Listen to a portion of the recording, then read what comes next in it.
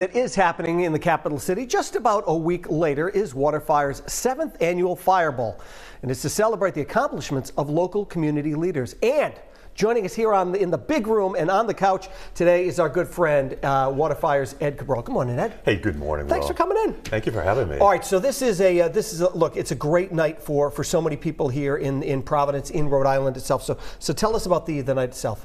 Sure. So uh, this is our one and only annual gala and fundraising event that Mm-hmm. we try to raise money for the, the events that we do downtown and just all the programs that we do, specifically Art Lab and uh, uh, uh, Accelerate uh, program.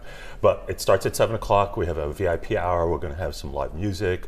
Uh, we'll have a sit down dinner uh, catered by Russ Morin's, some delicious wine. I was going to say, good stuff, right? of course.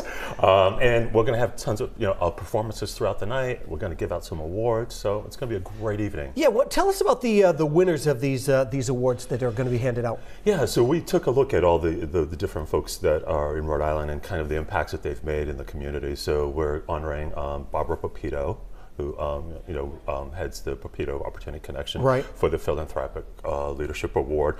Uh, Honorable David Cicilline for the Civic Leadership Award. Okay. Uh, then we also have uh, Dr.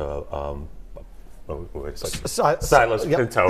Okay. As, I, we call him Tigri Right. all the time, so it's like I always call him Tigri. So uh, he's doing the Cultural Impact Award, and Right. then for the Creative Impact Award, we have Umberto Bert Crenca.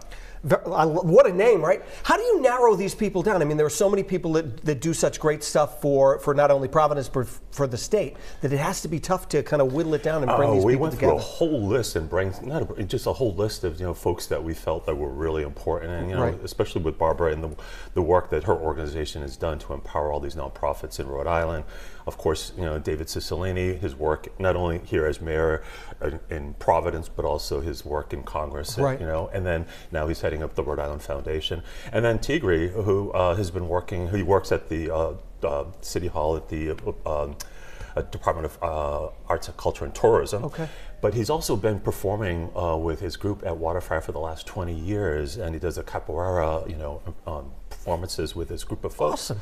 And then Bert, he started AS220. My goodness. I Right, mean, which has so- been around for a long time as well. Exactly. Yeah. Um, the the event's going to take place in just in a, if you have not been to the Waterfire Art Center, it's just a beautiful location and a perfect place to hold an event like this. It's tons of space. We're going to have, you know, fashion show. We're going to have dance performance. We're going to have Big Lux doing uh, his thing as well.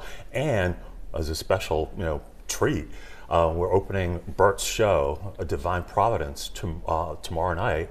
And so when you come in for the gala, you'll go through the um, visitors um, center, Right. where we're going to have over 300 of his works on display. And it's called Divine Providence because it's 300 paintings that he's done of cityscapes, um, houses, these different little moments throughout the city Yep. of Providence that just capture the, the essence of what we, you know, our city is. And quickly, if you can, if somebody wants to buy tickets for this event, how we how do we do that? just go to waterfire.org and um, as soon as you go to our website, you'll see the pop-up Okay. Fireball tickets. And buy your tickets. And there is a Waterfire this weekend too. yeah, right? there is. Yeah, Saturday we have a busy October. Saturday night we have a full Waterfire lighting with Great. Brown University. Perfect, perfect. Good to see you, buddy. Good to see you. Thanks Thank so you, much Will. for coming in. Always good to see you, Ed. Now you can get tickets for Waterfire's Fireball online. Just head on over to rhodeshow.com.